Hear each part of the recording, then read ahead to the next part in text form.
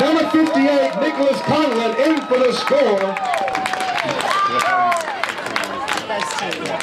score.